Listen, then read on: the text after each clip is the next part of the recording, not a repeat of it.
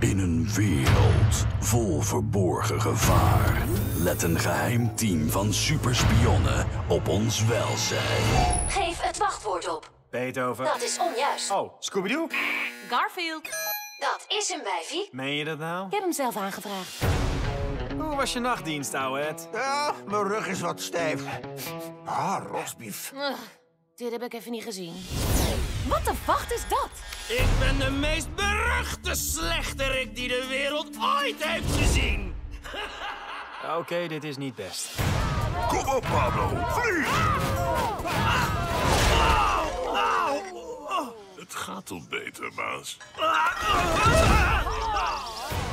We krijgen berichten van groeiende onrust binnen de dierenwereld. Als we nu niets doen, kan dat tot een oorlog tussen honden en katten leiden. Jullie moeten een ondersteuningsteam uit jullie gebouw samenstellen. Kattendutje. Wa- wacht heel even.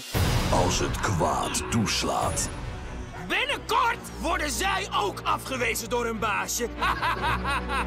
Om deze zaak op te lossen hebben we een team nodig. komen de helden samen We hebben Clyde van 6D. Die draagt een luier. Hij rijdt een spoor op een kilometer afstand. Hondenluier, dat zegt genoeg. Anastasia, Leopold, Maximus. Wormen, vlooien en last van diarree.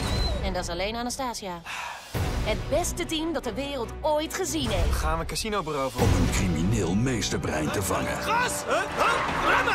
Remmen! Oh nee, een rotonde! Misschien moet ik even sturen. Ze ruiken hun kansen Oké, enkelbijter. Wie zit er achter het complot?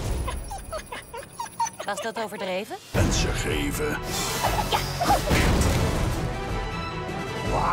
Nee, Ed! Oh nee! nooit op.